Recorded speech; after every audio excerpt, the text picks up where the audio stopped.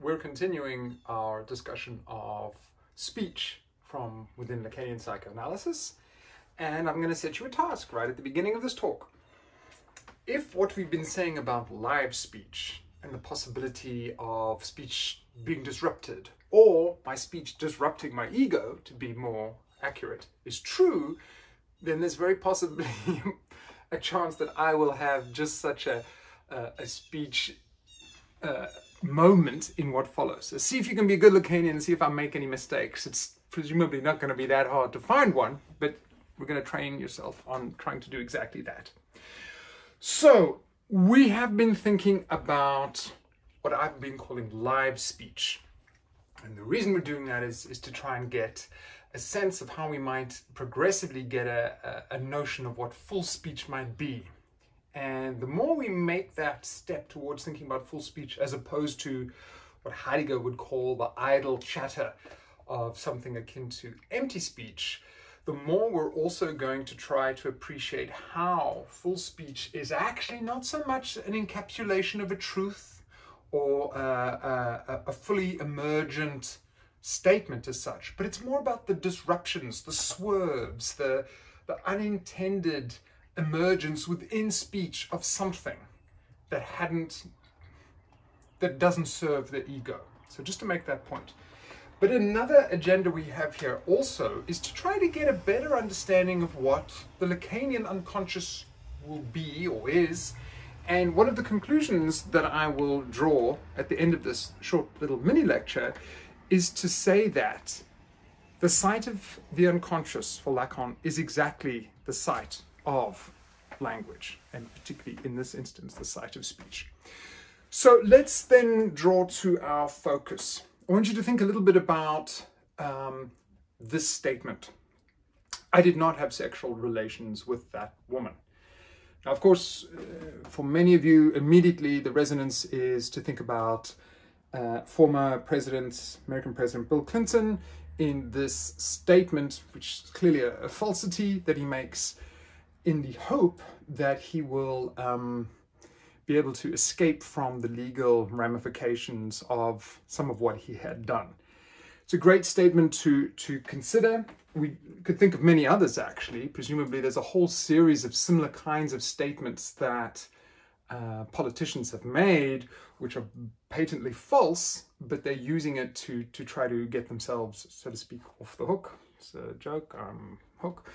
Um, so we're going to think a little bit about that statement today. the way we're going to do that, though, is we're also going to contextualize it in terms of the general theme of uh, unintended consequences or unintended implications of statements and to do that, I'm going to refer back to Six Moments in Lacan, my book, and as a way of introducing how we're going to think in Lacanian terms about this, I did not have sexual relations with that woman. I need to just do a little bit of uh, introduction. And the way that I want to do that is to talk about discursive psychology. So I've got some colleagues, and of course I've, I've actually also done some work in the area of critical psychology or discursive psychology, and one colleague, uh, Mick Billig, has this book called Freudian Repression, and he takes aim at a whole series of notions within the idea of Freud's uh, concept of repression.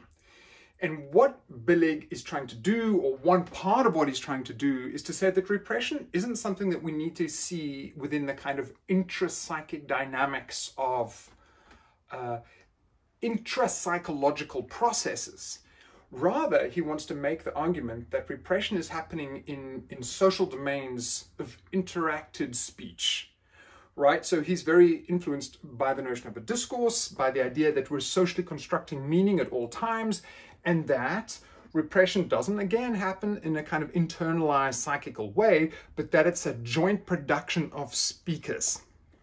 So what initially sounds like a very kind of critical engagement with psychoanalysis, and let's also bear in mind that Mick Billig is someone who's highly critical of Lacanian psychoanalysis, does not like Lacan at all. In fact, is a very forceful, uh, critical engagement with Lacan's idea of the mirror stage. But I think what's somewhat ironic about discursive psychology taking up a critical, a critical position of Freudian notions of repression is that, funnily enough, a large part of what they say fits very well with Lacanian conceptualizations of repression and Lacanian conceptualizations of how language and spoken verbal utterances are themselves uh, implicated and utilizing a whole series of operations of language, which are, for Lacan, the operations of the unconscious itself.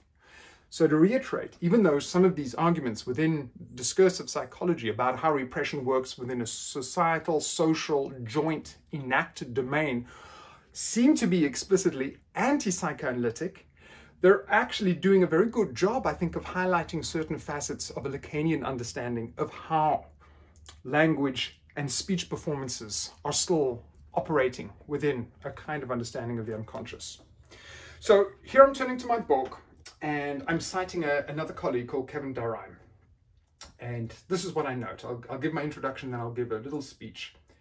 Proponents of discursive psychology emphasize that it's quite possible for an audience to hear in a given expression something quite different from what the speaker had intended. This is uh, Kevin Durrheim's uh, comment. This possibility of unintended hearings arises for the dual reason that all expressions leave somethings unsaid, and what is said can be understood in more than one way. Expressions do not exhaust the possibility of their meaning. Expressions do not exhaust the possibility of their meaning. Expressions do not exhaust uh, the possibility of their meaning. All right, so that's not said with any reference to Lacanian psychoanalysis, but I think it's such an interesting and fruitful way to, to, to think about some of what we've been saying in terms of the live possibilities of speech and speech being disruptive of the ego. So I want to draw on that and make a couple of comments here. This is the theoretical work that we need to get out of the way before we approach uh, Bill Clinton's statement. We can say then, being inspired by what our discursive psychology colleagues have said, that every statement brings in its wake a series of grammatical variations. Every statement brings in its wake a series of grammatical variations. Now, the way of putting that is when we hear, when we are attentive to what is being spoken, we do not attend merely to simply the delimited material of the actual statement of the words. If we're able to, if we're going to be able to follow the meanings of what someone is saying and be able to anticipate where they might go, we don't just hear and we don't just attend to the minimal constituent elements of what they've actually said, we're able to bear in mind a broader framework of meanings, of potential variations, of potential implications in what they're saying. Every statement then exists within a horizon of associated yet differing formulations. So I'm going to just quote um, a section from my book. Every utterance exists within a horizon of associated yet differing formulations. What is conveyed in a communicative exchange is not merely a minimal strip to the core message, but also a number of subsidiary prospective significations. You could say that this is what alerts us to an imperative, a directive, if one is going to be a kind of Lacanian practitioner, Lacanian psychoanalysis. What would that imperative be? It would be to try to facilitate a series of lateral significations.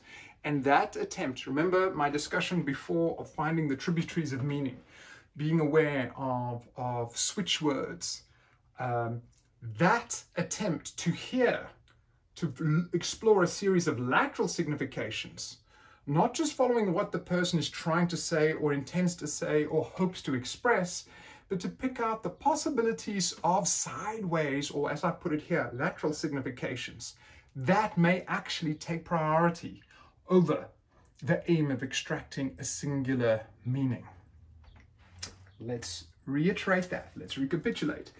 Any communicative statement conveys along with it a matrix of alternative hearings.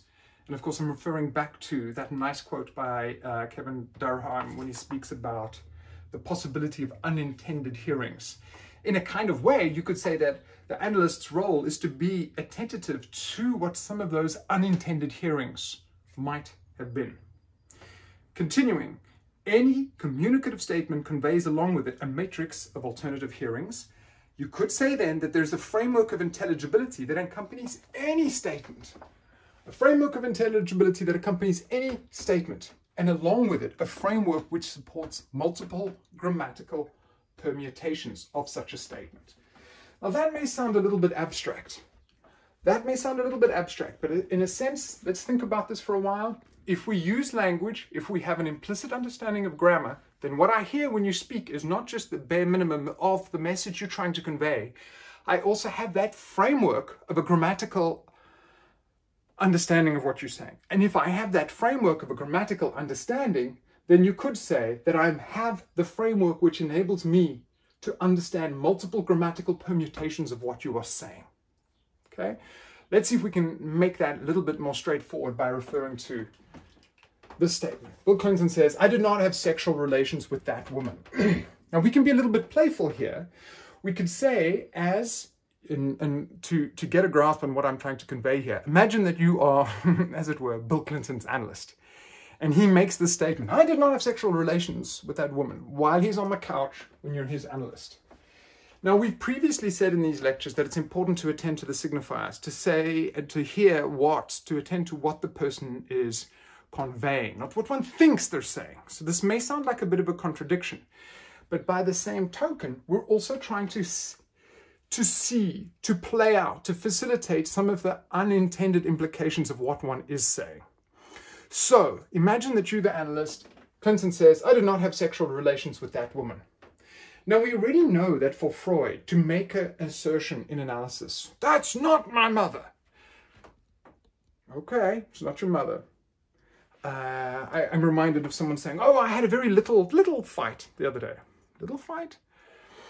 Without adding meaning or without trying to uh, project one's own interpretations of it, one could quite viably just ask a question. You did not have sexual relations with that woman? For Freud, the very operation of negation, which is one way that unconscious material can actually have a hearing, can be spoken, is simply to say, no, it wasn't, which enables us to ask, well, could we hear that as it was? So let's think about it. Clinton's on the couch and says, I did not have sexual relations with that woman. Maybe one idea, maybe one thing, one tactic you could do as an, an analyst is to say, You did? So you did have sexual relations with that woman? And then you go, No, no, no, I did not. Okay, I did not.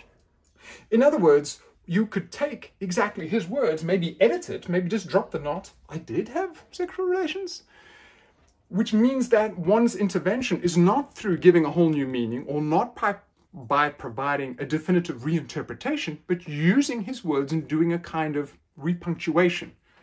Or, to put differently, the same point, if we have a grammatical framework through which to hear what someone is saying, when someone says, I did not do something, you already have within that framework an ability to, and you implicitly do here, ah, you did not.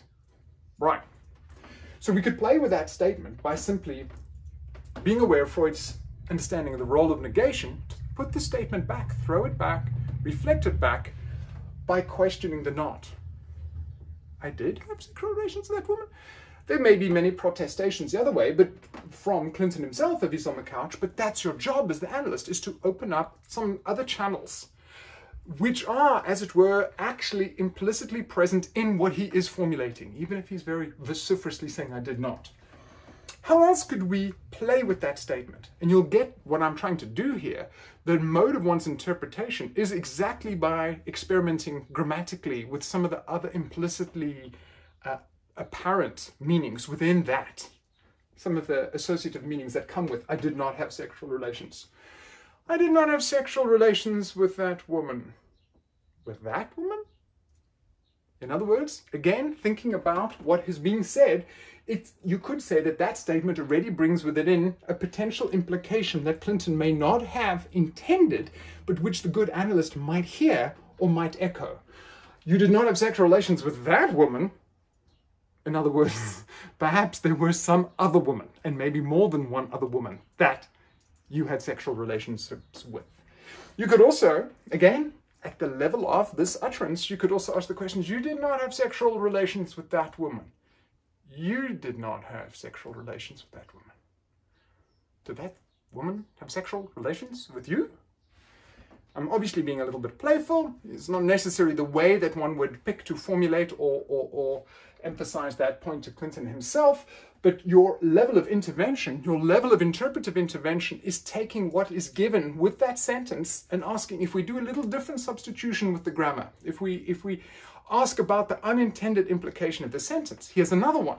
I did not have sexual relations with that woman. Dot, dot, dot. But, in other words, the analyst's interpretation would simply be that word, the loaded but, which presumably might imply, but I really wanted to. You could also think about, oh, you did not have sexual relations with that woman. You did not have sexual relations with that woman, but you took a walk on the wild side, or you carefully examined. Now, I'm just using these as illustrative suggestions here. I'm not saying that this is something that the analyst should say, but remember, what I'm trying to suggest is that the analyst's level of intervention is at the level of the grammatical permutations of that statement. So we could also do this exercise in a different way. If you were Bill Clinton's unconscious, how else might you have made some of this enunciation? How might you have portrayed it? In other words, you could say, the statement, I did not have sexual relations with that woman, could lead to any number of different types of understanding. And we could also ask you, well, instead of sexual relations, maybe thinking about how the unconscious works, maybe a nice metaphor would have been more appropriate there. I did not play beautiful music with that woman. Okay? A metaphor for sexual relations, or walk on the wild side. A metaphor for sexual relations. Or we could say, I did not have sexual relations with that woman. I did not carefully examine that woman. Carefully examine, not just a metaphor now, but another type of substitution, a substitution which in linguistic terminology and in Lacanian theory we would call a metonym rather than a metaphor. In other words, it's a substitution on the basis of something very closely aligned to the, the thing of a sexual relationship. So let's try and uh, wrap up.